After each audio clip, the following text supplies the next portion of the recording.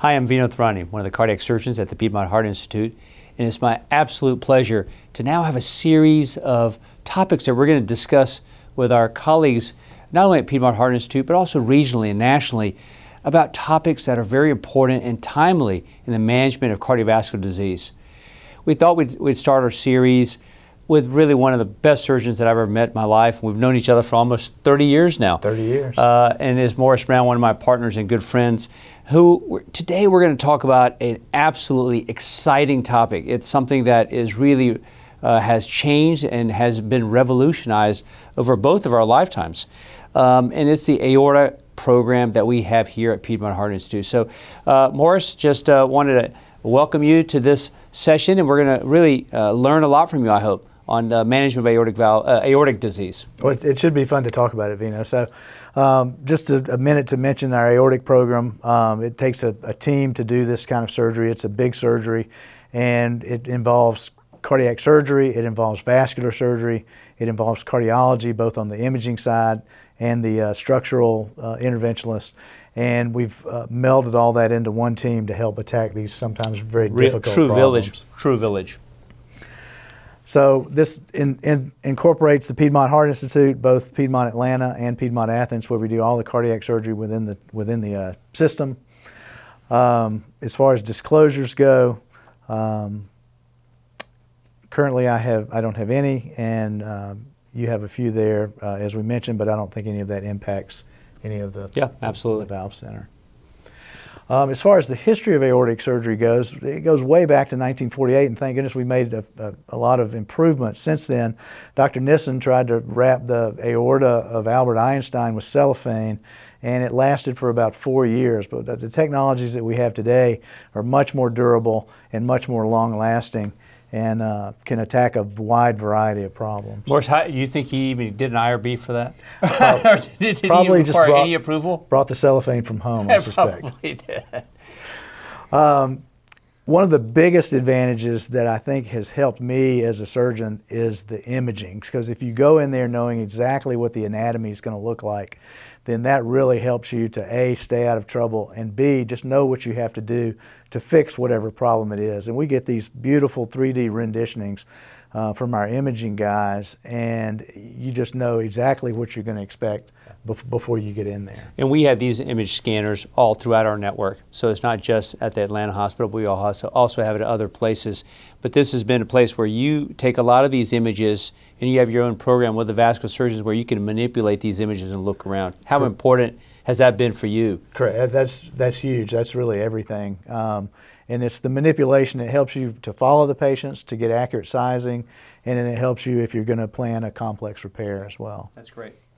Um, some of the complex anatomy, like this was a case that we did that came uh, that had a stent graft that was placed at another hospital um, and got it, it, got infected, so he was transferred here for his care because fixing these infected stent grafts is is very difficult and very complicated. And we, we did. Well, you got to you got to tell me what's going on here. This is like an alien. Well, we this this is the native aorta, ascending aorta, and then that's a staple line across it. The stent graft used to be over here um, now this is an extra anatomic bypass that goes through the pericardium um, that was put in through a sternotomy that goes to the descending aorta and then another staple line down here. And then up in the infected bed where the stent graft came from, we got one of the plastic surgeons to put a latissimus flap to help cover that. And Isn't that amazing? And so we just completely rerouted the blood flow. I wasn't happy at the time of surgery with the off take of the left carotid because it was pinched a little bit. And so I just added this graft onto the top to, to have uh, a debranching um, of that left common carotid. That wasn't part of the original procedure, but um, it's what you needed. It's what you needed to do. It's what we and needed. we'll get more into the debranching soon. Uh, that's a term that you just threw that a lot of cardiologists may not understand. So we'll show a lot more pictures about the debranching soon. Right. So yep. we'll, we'll, we'll get into that. Yep. Um, as far as the techniques for complex uh, aortic reconstruction, um, one of the biggest adjuncts that we have is deep hypothermia and circulatory arrest. And this was first done in 1975 by Dr. Griepp for repair of aortic surgery. It had been used before that for congenital surgery. Um, but this has been very helpful to us because you can do the anastomosis open You can see every stitch, and um, hemostasis is really good that way. And the success of this is, is all about the hemostasis. Um, replacement of the aorta with the, you know, uh, modern day materials with Dacron grafts, covered spring-loaded stent grafts um, have really expanded what we're able to do because we can combine endovascular techniques with uh, the open surgical technique. And you're going to show some really beautiful examples of that collaboration with vascular surgery for these. Right, because that, that is so important. Um, to go back to the debranching that we talked about a minute right. ago, um, the the head vessels, you know, the innominate on the right hand side, then the left carotid and the left subclavian. Those are the branches off the arch, and the arch has really been one of the most difficult places right. to repair because the the blood flow of the brain depends on the arch, and so you have to interrupt that for a period of time to repair that. And how to come out with a patient who has his cognitive uh, function intact at the end of that is is has been limited, right? And right. been limited, um, and so. Sometimes we debranch these, and if we debranch them, a lot of times we don't need the heart lung machine. We don't need circulatory arrest. If we do them one at a time and do them sequentially, that maintains blood flow through the other, other uh, sources, and the patients uh, do just fine with that. That's great. Um, and then hybrid combinations. One of the one of the most difficult things. You have all these different pieces to the puzzle to play with, and you have to tailor your therapy to each patient. And you need to decide which pieces of the puzzle to use for which patients and which one is going to get you the successful outcome at the end. That's great. Um, other things, uh, antegrade cerebral perfusion to uh, give blood flow to the brain through the veins while you have the heart-lung machine turned off. Um, that extends the period that you can safely keep the heart-lung machine turned off. Same with antegrade cerebral perfusion. Antegrade perfusion is, is a little newer. Um, it's a little more difficult to do, and you have to be a little more cognizant of air and just watching some of the technical details. Retrograde is tried and true, and it, it uh, actually, because the blood flow is backwards, any little particles that get up in there get washed out. Um, you know, recent randomized controlled studies showed that it didn't really matter whether you did antegrade or retrograde, just so you did something that the, the margin of safety was increased by doing one of these adjuncts. The key thing is that what we're really striving for is protection of the brain.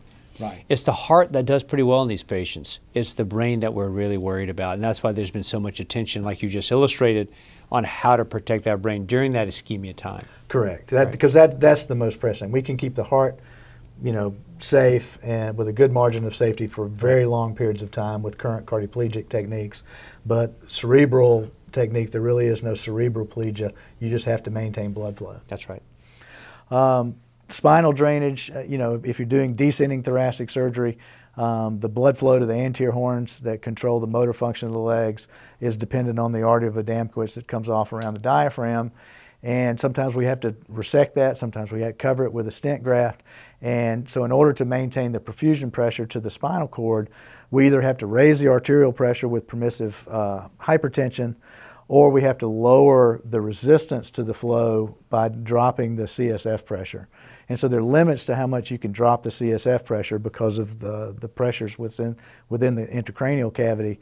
Um, so you have to, it's a balance between the two. Yep. Very important. So let's just go over a few of the operations that, that we do. This is probably one of the most common that we do. This is called a Bentall because it was described first by Dr. Bentall and Dr. DeBono in 1968. Um, and it's where the valve is resected, the portion of the aorta that contains the valve, that's called the root, um, is resected. The coronary arteries, which come into that area, are, are um, moved off of that area with a small piece of surrounding aortic tissue so that you can put it back together. And then all of the ascending aorta. You can see that um, we, with circulatory arrest, we can go all the way up right to the edge of the innominate. This is not really a hemiarch. Uh, this is just to the proximal arch um, and then replace that with synthetic graft. This shows a, a biological porcine root uh, to replace the valve, and then the coronary is plugged into the side of that. But this could really be anything. It could be a mechanical valve with um, an attached graft, or it could be a bio uh, that either comes pre-made or that we can make on the back table. And you and I uh, really enjoy doing these cases. You know, it's uh, it's funny. We, we do this as a morning case and do other cases afterwards. I remember at the other institutions I was at, this would be an entire case for the whole day. This, and yeah. so you and I can uh, be done with these cases very expeditiously. And we're eh, we're out by early uh, or late morning and, and are ready for our next Lunch- cases. At, at lunchtime. That's yeah, right. This, this used to be when, when I was training. This was an all-day case. Yeah. Um, and, it still is at other institutions, And right? yeah, now we, we get them finished by lunchtime, and then I go see the patient after uh, second case, and they're awake and Yeah. extubated by the afternoon. And what's this uh, for those of you who send us these patients? This is an important thing. You'll see us. Uh, all the root is gone. The coronary has been rerouted, and also the valve is a new valve. But Morris, tell me this: what what's important for a cardiologist when they send us these patients? Should they? Is there some information that's helpful to you? Um, Right, uh, because we, we do want a heart catheterization on all of these patients. If there's some anatomic reason we can't do that, we can do it with CT scan. But we need to know um, is there any you know uh, stenosis of the coronary arteries because that can be easily taken care of at the time of surgery. Um, but also we need to know the anatomy of the root. Do they do the coronary arteries come off in the correct place? Is there some congenital anomaly of the coronaries that we need to be aware of? Anomalous right, especially that would be very especially important. because Right. that, you know you can i- by when you're disconnecting it and, and dissecting all this if you know where all that is you can avoid injuring any of the branches and every branch is important Absolutely. S- so um, and then also the the type of uh, aortic valve and whether it's tricuspid or bicuspid is important because that also changes the, where the coronary arteries come off.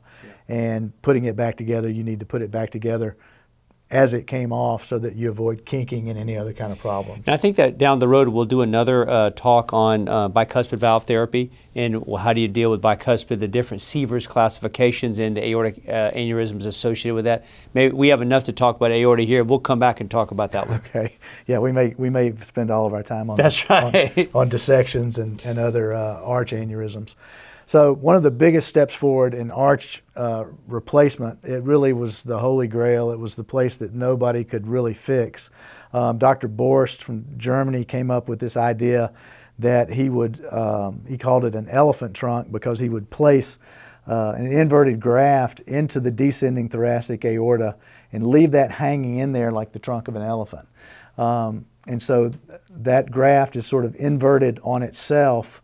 And then this string that you see is actually attached to the very distal end down here so, to uh, facilitate retrieval of this end when you pull it back out so that you can anastomose uh, the head vessels to it. This, this is the island of the head vessels, and this is where all the blood flow should be. And you can either maintain antegrade cerebral perfusion with a, with a uh, subclavian cannulation technique, um, or you can do retrograde cerebral perfusion, or you can put cannulas directly up the, the carotids as, as is shown here. And for this patient, Morris, what's happened is that the aorta, the aortic valve is intact, the coronary arteries are intact, the a- ascending aorta is gone, the arch is gone. So this is a patient with aneurysm of the ascending aorta and the arch. And the arch, Right? And maybe the distal thoracic And- aorta, is that right? And it- but not much. It can't. That this picture doesn't really show that that's aneurysmal, but for a lot of a lot of times doing these elephant trunks, it is, Okay. and that facilitates fixing the next stage down the road. I call it big boy surgery. This is not this is not the straightforward. this is this is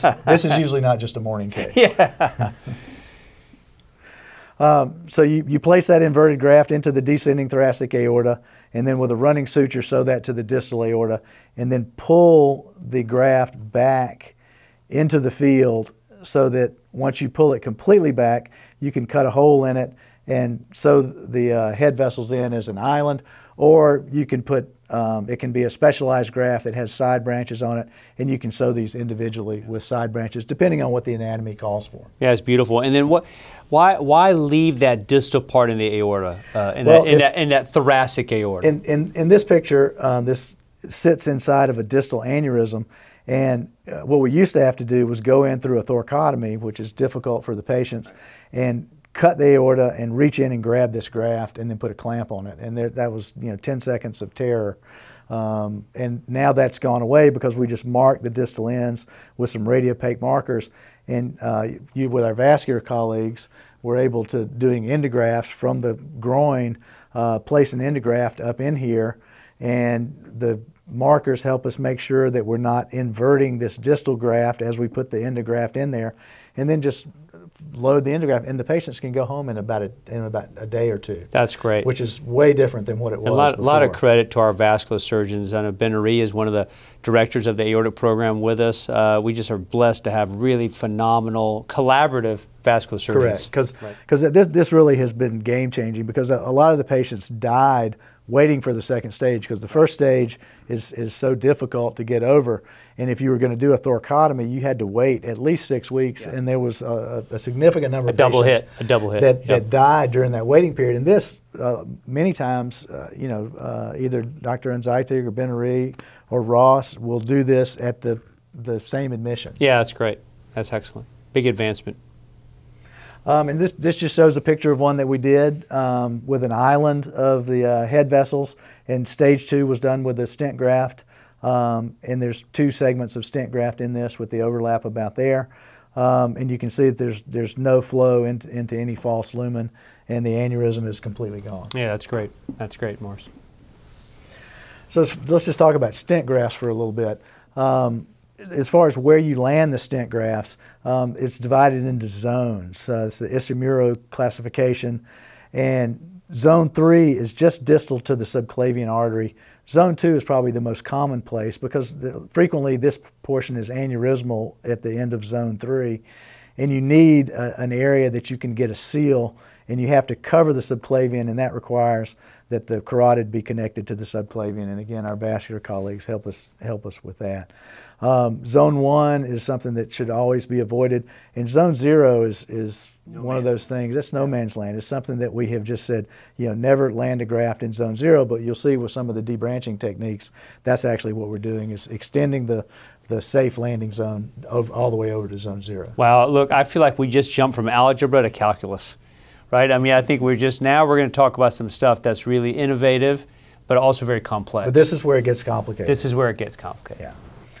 And so this is, you know, a fairly simple one. Uh, the stent graft covers the subclavian, and as I said, this required a carotid subclavian to keep the left arm perfused. Um, but again, and you do that at the same time, Morris, right? Same time. Yep. Yep. Same time. Need to. Yep. And if, if it calls for bilateral, we generally stage that and do one side and then do the other at the, at the time of the stent graft placement.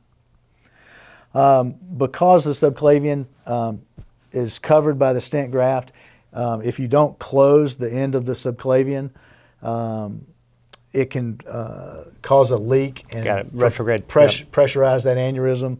And so you need to plug that subclavian because you want to maintain flow to the vertebral on that side. So you have to plug it all the way where it comes off of the arch.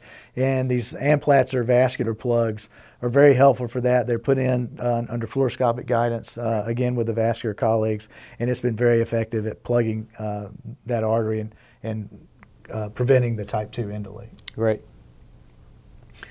Um, and so, why is it important with aortic dissection to do these stent grafts at the same time? It's a little more trouble, it's a little more time at the time of surgery. So, why is it important to do that? And the INSTEAD trial illustrates that very nicely. This was a study of type B dissection where they treated with stent grafts or with medical therapy, and the, the the group that was treated with the stent grafts, 92% of them had false lumen thrombosis at the 24 month follow up period versus only 19% of the, those treated medically for, for uh, uncomplicated type B dissection. And the survival curves started to separate at 24 months. And so there is a survival advantage to have that false lumen thrombose, and then they get to, be more like a normal aorta. And even though these dissection patients are complicated, um, they do have a lot of times residual dissections, and so it's something that we need to see yeah, life, that just that just makes me think of that, you know, and, and all of us in the partnership here, the seven surgeons and the two in Athens, soon to be three in Athens, we all do aortic dissections. But I think it's important to follow these patients not only at 30 days, but yearly. And our aortic program really wants to see these patients so that we longitudinally follow them so they can get treated with stent grafts it's down the road as needed. Correct. It, it's one of the few things that cardiac surgeons follow their entire life. That's right. Yeah. Very important. Um, other technologies that help us see what we're doing when we're doing these stent grafts. It's very important to be in the true lumen where the blood flow should be. and you can see that the uh, catheter is in the true lumen here, and in real time, uh, you can see during systole that the true lumen expands and the false lumen is compressed. And so you can tell which one is which, even if the shapes aren't exactly like they should be. Um, there's some new technologies for uh, type B dissections, and I think this just uh, emphasizes the fact that we're trying to get that false lumen to thrombose. So Cook makes uh, a, that's open weave technology. It can be placed right across the visceral vessels in the abdomen, and it helps oppose that uh, muscle septum or vascular septum uh, to the wall of the of the false lumen, so the false lumen becomes thrombosed, yet the flow to the visceral vessels is maintained. This kind of open weave technology has been proposed for the arch. It's currently not approved for that, but it's something that we'll probably see in the future. Yeah, I think so. I think this is technology is going to start moving into that zone zero a lot more over the next five years. Correct. I, right. I agree. So this is where it really begins to get complex. Um, we already went over fro- uh, elephant trunk. Frozen elephant trunk is where you place a stent graft antegrade at the time of circulatory arrest um, for a standard ascending and arch replacement. Um, open hybrid with debranching, um, these come in several types. This is a Bavaria classification. Um, if you maintain the native aorta, it's a type 1, and you run these branches up, they go to the innominate and the left carotid, and plus minus the left subclavian. You can either attach the carotid to the subclavian, or you can put a separate branch from the main, the main aortic trunk. Um, if you replace the ascending aorta, and the, the criteria because of dissections is actually a little lower, so we would replace an ascending aorta that's anything anywhere around four centimeters, 4.2, um, whereas uh, the standard criteria is more like five centimeters. That's right. Yep, much larger. Um, so this is where the, the, the, native aorta is, is replaced um, by a graft, and then the, the stent graft is placed in the distal portion. And you can see that the stent graft goes all the way across the arch. All the way almost to the STJ. In, into zone yep. zero. So it, it, and what we it do stops is there, right. we, we mark where these branches come off with a with a radiopaque marker, and then we land that right up to it.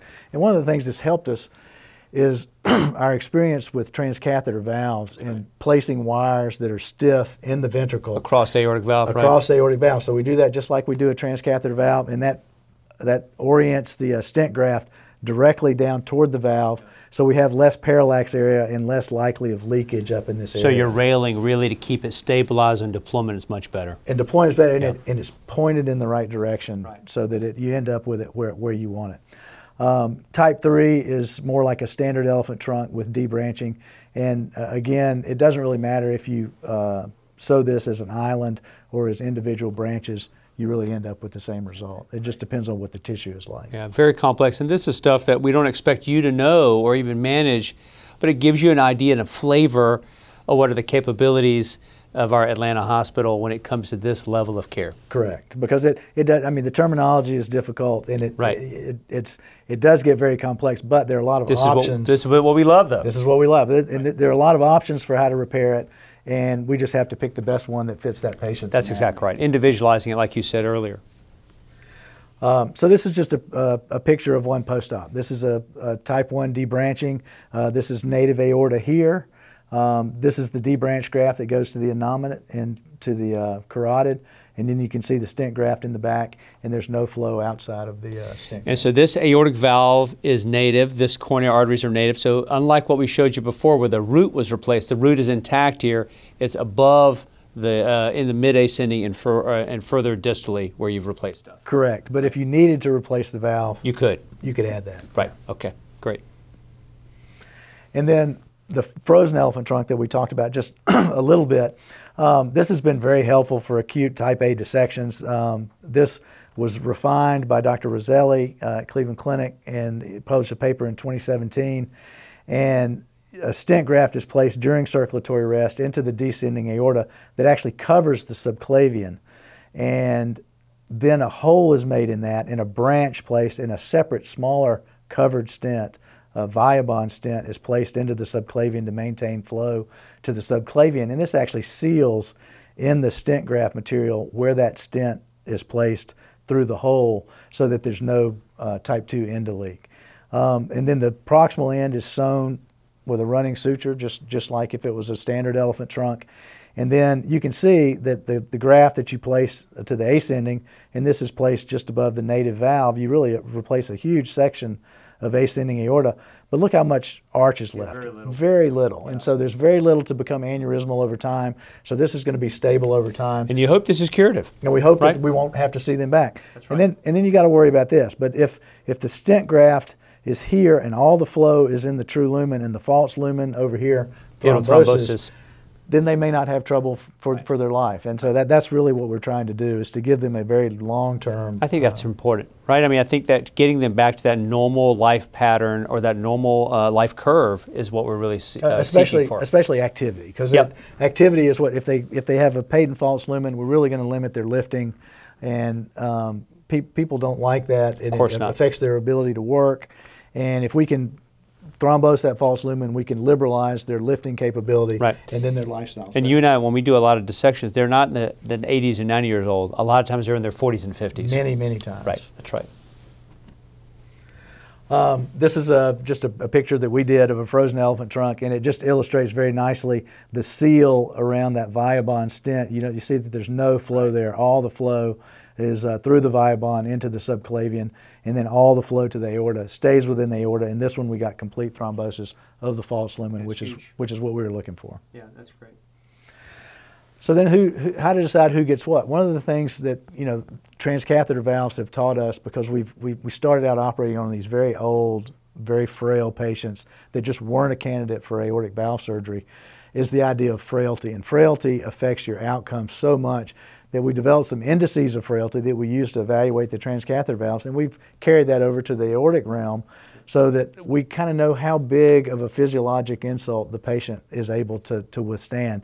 And so we tailor our care both to their anatomy and to their frailty so, so, so that we feel like they get through the surgery. I think it's so important, Morris. I mean, uh, and we're fortunate that we have so many senior surgeons here at Piedmont, at both institutions, at the Athens and Atlanta, that I think this becomes a lot more important. Knowing which patient, we can almost operate on anybody. It's the idea of picking the right patient with a group of people that, to me, has made a big difference over the last 15 years of my career. Right. And, and I, I think that to, to get to a successful outcome, sometimes you have to pull back and not do the, the, the full, uh, complete repair. Maybe something a little less, but something that's not going to be dangerous for them over the long haul, but that they're going to survive and they're going to get back to independent living. And I love the idea that there's so many of us here together on one campus, and also the guys at Athens who talk to us all the time, that we can make that as a collaborative decision. Not Well- only amongst multidisciplinary, but amongst ourselves. Correct. I think that's very important. Correct. And, and uh, very many of these cases, as you know, Yep. um, our office, all the surgeons are in one office. And so we show each other things. Hey, what do you think about this? What do you think? You know, let me tell you about the patient. Well, you know, what do you think is a good idea and what's not a good idea? Yeah, that's perfect. So let, us just go over a few case studies just Sure. to, to il- illustrate some of these points. Absolutely. You know, we said we try to not stent graft in zone zero. I remember you said that. Um, but but this is one where we did stent graft in Right. zone zero, and, and we didn't do a debranching. We what we did was uh, we needed. Uh, this was a patient who'd had a cardiac transplant. He had been re-explored twice for his native aortic fragility and bleeding within the first two days, and he developed a big pseudoaneurysm. But he had had a very difficult course. His frailty index was very high. We didn't feel like he could withstand another sternotomy, um, but we felt like he could withstand endovascular repair. But we had to land that stent graft in between the coronaries below and the innominate artery above. Yeah, just in a perfect- yeah, perfect. It had Yeah. to be perfect. Right. And so landing it just above the coronaries, we involved one of our transcatheter, um, you know, structural uh, interventional cardiologists to both uh, show us the anatomy. They, they knew the gantry angles to get the best shots for the coronaries, pick which ones was the highest, and then get the angle where we knew that the stent graft was not going to impinge on that coronary. And so that, that was the one that we used for our landing of the, of the more proximal portion right up next to the coronary.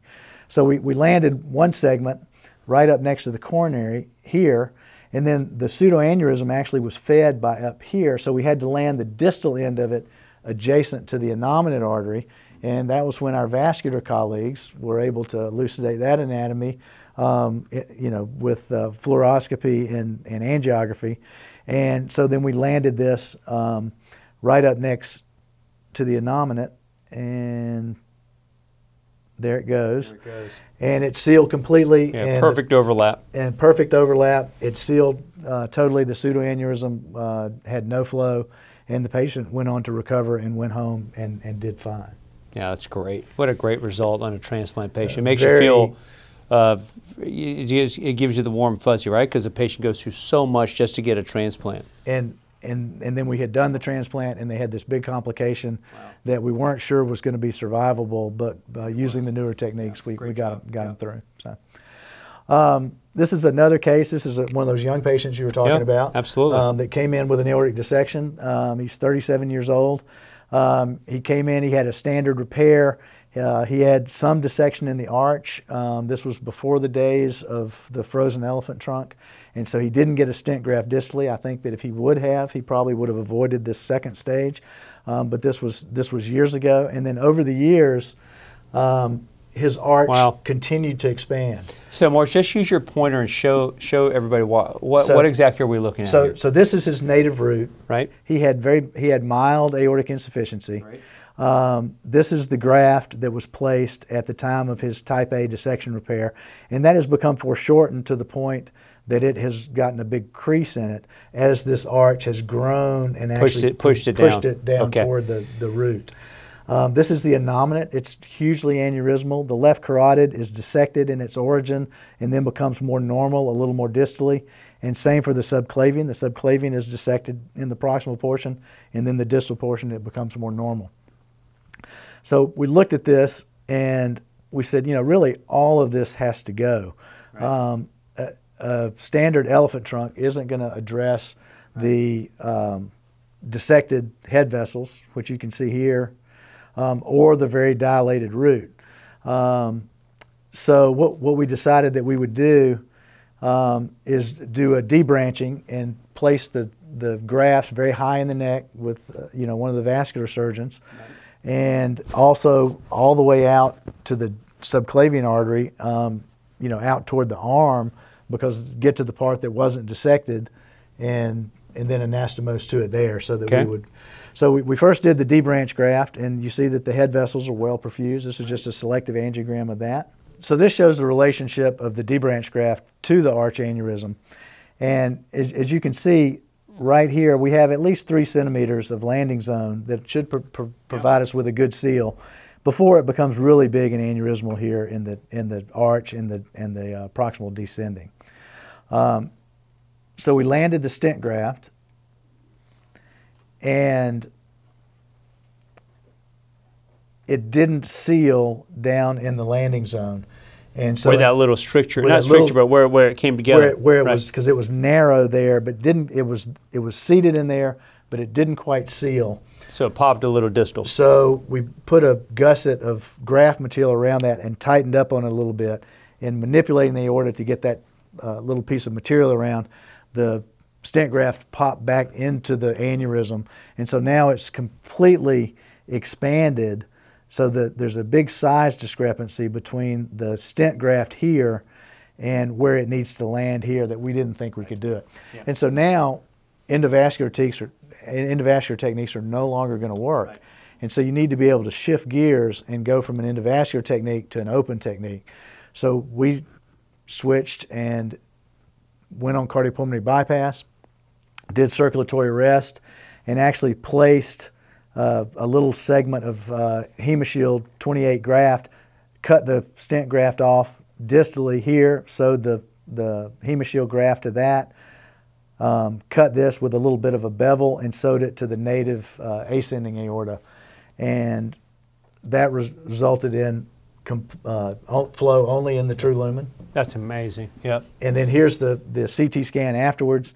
The ascending uh, has flow. The debranch graft has flow. There's the aneurysms and dissected segments are all bypassed. Um, this is the little segment of Hemashield graft, and then the stent graft starts distally and directing all the flow into the true lumen. True, uh, I think a show of multi-collaborative, multidisciplinary, and quite honestly, with in a hybrid room, we're able to quickly do that. We have two new hybrid rooms here. I know we have a hybrid room in Athens. We're able to do that type of stuff, mainly here in Atlanta, but still on the fly. Correct. That needs to be. Correct. And, and being able to switch from purely endovascular, or uh, this was even a hybrid. This was you know some open and some closed, but we weren't planning on doing circulatory arrest, and we in fact weren't using the heart lung machine. It was the debranching doesn't always require the heart lung machine, so. In the hybrid room, there's plenty of room there. You just bring the heart lung machine in, you cool down, and, and turn that off. And because we had that debranch graft there, we were able to perfuse both head vessels um, antegrade the entire time. And so it, you know, it took about 30 minutes to do it, but the patient woke completely up the next day because uh, the, we, we perfused it with arterial pressure flow the entire time. What a testament to vascular and cardiac working together. It, it, Yeah. the, the whole team was required. Perfusion is a, this is a complex perfusion setup. This is complex for anesthesia. It's complex for the surgeons, and the surgeons have to communicate with each other about what uh, this, I think this is going to work. This is not going to work, and we have to get that done in I think that's time. important for people to understand that, uh, you know, in this community we have this level of care. I think that's critically important. Yeah, great. So here's one one more, um, and I'll end with this. Um, this is sort of shows the final exam. This is how you put it all together, um, because this required a lot of planning and a lot of different techniques right from the beginning. This was a patient, only 53, he- healthy, active guy. He had had an AVR root Bentall in 2004, and he developed this huge pseudoaneurysm, and you can see the blood leaking out of the aorta um, coming from the uh, proximal suture line there. Uh, But more impressive is the 3D reconstruction of it. This is the AP view. You can see this huge pseudoaneurysm, and it has this tongue that comes out, and you can see how this is flat right there. That's the sternum. That's the back of the sternum. So if you look at it on the lateral side, the pseudoaneurysm actually comes out and touches the sternum. So you, there's no way you're going to be able to open the sternum without getting into this, and and so you're not going to be able to repair that. So we we planned this ahead of time. We uh, did femoral cannulation. We did deep hypothermia and was ready for circulatory arrest. Opened the chest, got into the pseudoaneurysm, was able to close that, resume flow, and then go in and do a big operation, a redo root replacement, a redo Bentall, ascending replacement all the way to the arch with circulatory arrest and retrograde cerebral perfusion. Um, because of the bleeding, we packed this open. We used delayed sternal closure. Which is normal, That's right. normal. That helps Yeah. with hemostasis. It really sets the patient back about 24 hours, but that's it. Um, we closed him the next day, and on post-op day 10, he walked out of here and went home. Yeah, this is uh, that's beautiful. What a beautiful result. So, that, what are the key points of all this complicated stuff? It, it's um, you have to know the disease, you have to know the terminology and the lingo, and mainly know the tools because there's a lot of different ways to fix this, and everybody has a different slant on it. And that's why the multidisciplinary um, team and everybody having a different view on it is so important because uh, you don't go into this knowing what you have to do. You have to discuss it beforehand. And many times, uh, a lot of this is discussed and then it has to be changed on the fly. That's right, exactly. And I think that's what you'll see, Morris, as we go through this series of discussions that we're going to have with our Piedmont Heart Institute. This is a very, I I think that's perfect. Know the diseases, know the lingo, know the tools. And I think we're going to talk about how complex and how simple cases we do here at Piedmont. Right. And you know, utilize your team members, get get their advice, get their opinions, and study the anatomy. The biggest key to success is knowing exactly what you're in for. And like I said, that not only allows you to do the repair, but that allows you to avoid some of the pitfalls. Yep, absolutely. Um, and then the results that we've gotten. You know, we've shown a lot of these cases that we've done with very good success, but the stuff that we do day in and day out. Um, you know, we did 87 Bentalls last year, and we had no mortality. yeah, that's great. Um, some of the I, other I know a lot of my friends all over the country, and uh, I don't know a single one of who have that outcomes. Right. To be honest with you. Right. So And- you know, yeah, it's great. and you know aortic dissections um, you know that that historically is a 20% mortality operation and it's less than a 5% Yeah, at our institution. at our yeah. institution. Yeah, that's great. So we're, yeah, we're very lucky to have a very consistent OR team and consistent surgeons, and so it's been very helpful for us to have that level of care. So great. well, Morris, I want to thank you so much. I've learned a lot. I hope you have too. And so uh, feel free to call us at any time, uh, all the way from the simple uh, aortic disease, like Morris talked about, which is aortic aneurysms, to Bentalls, and then we get into more complex stuff with arches and arch repair and the descending. um, and the variety of, uh, of faceted way of doing this with vascular surgeons. So we're here to help you in all of those. We're happy to see these patients and also longitudinally follow these patients. So this is a lifelong disease, and we're here to manage these patients lifelong. So Right, and, and if you don't know who to call, just call, Call one of us. us. And if Yeah. it's not us, if it's if it's purely a vascular, uh, we'll we'll get our teammates involved, and um, we'll get we'll get the patient taken care of. Whatever they need, we'll we'll get it done. absolutely. Morris, well, thank you so much. This has been great. Thank you. All right, thank you.